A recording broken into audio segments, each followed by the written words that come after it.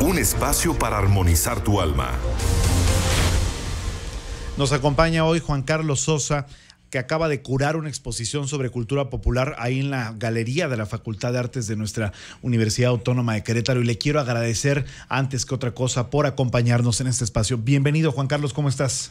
Bien, buenas tardes, muchas gracias por la invitación. Oye, eh, a lo mejor digo, para ti es, eh, yo creo que muy normal ser un curador, ¿no? Pero seguramente mucha gente no sabe a qué se dedica un curador. y de entrada, antes de entrar al tema de la exposición, platícales un poquito, ¿no? Bueno, curador como tal no soy, pero, pero bueno, el curador es el que se encarga en una exposición, pues de ver toda la parte, pues estética, vamos a decirlo así, de la sala. Así es. ¿no? De escoger las piezas, seleccionarlas, la posición, las cédulas de identificación, donde iría el texto de sala. Entonces es como lo que cuando van a un museo y lo ven muy bonito, ¿no? Toda esa como la, la organización interna de una sala, pues eso es de que hacer curador. Yo creo que, se imaginaban poniéndole como un curita. Un curita, sí, así este, yo también pensaba eh, cuando. Eh, eh, no sé, una obra de arte o algo por el estilo. Bueno, una vez platicado este tema y que la gente ya conoce este asunto, cuéntanos un poco pues de esta exposición que se llama Hecho a Mano. Pues bueno, Hecho a Mano, legado y herencia del arte popular mexicano, es una exposición que hacen los estudiantes de la licenciatura en danza folclórica mexicana de la Facultad de Artes de la UAC. Yo soy el docente de la materia de arte popular. entonces, dentro de los contenidos, pues hicieron muchas cosas eh, de arte popular, de toda la teoría. Escogimos algunas. Eh, pues artesanías o artes objetos que, que, no salía tan caro que pudieran ellos también en este proceso creativo hacer.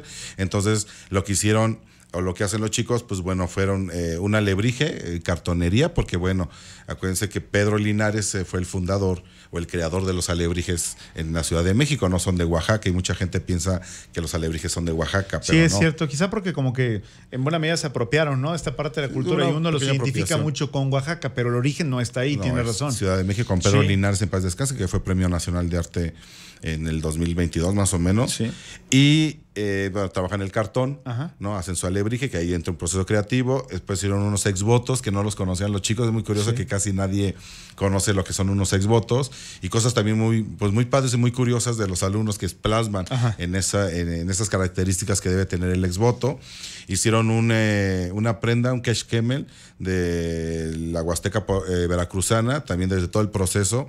agradecerle a la maestra Meli, que también es egresada y la primera licenciada de esta tercera generación de la licenciatura, que ella es la que da como la clase eh, de tres, tres sesiones virtuales y hicieron el Kesh Kemel, que podrán ver ustedes la, las piezas y también em, bordaron un, mandil, un paliacate para la danza de chules, porque es como también la transversalidad, ¿no? De Usar la, de las materias pues de todo el programa educativo.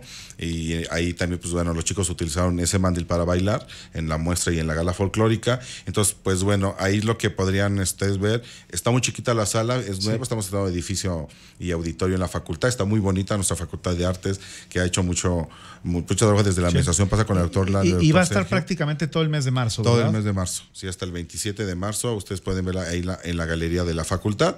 El acceso pues puede ser por la plaza del estudiante o por las otros, los otros si no tiene si tiene coche y quiere meterse a la universidad si no tiene credencial para abrir la pluma o levantar la pluma, tendrían que entrar por el, la puerta del Bicentenario, por donde está la alberca. Oye, quería platicarle un poquito más a la gente respecto de tu trayectoria.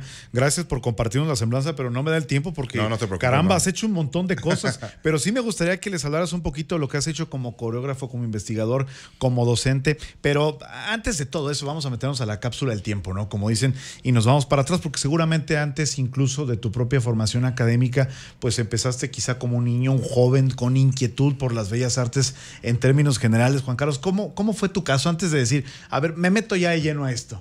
Pues no, no me gustaba la danza folclórica, les voy a ser muy honesto, pero bueno, por hacer el destino. No, no, no, no, por una novia que tuve, llegué. Ya, no, bueno. Pues este, bueno, ni, ni, ni bailaba, y más bien me, pues me puse triste tenía como 16 años y una amiga, una vecina me invitó que la acompañara a un ensayo y pues el maestro se acercó, el maestro fue Ortiz Quiroz, se acercó, me vio así que estaba moviendo mis pies, me dijo, vente a ensayar y al día siguiente ya estaba ensayando.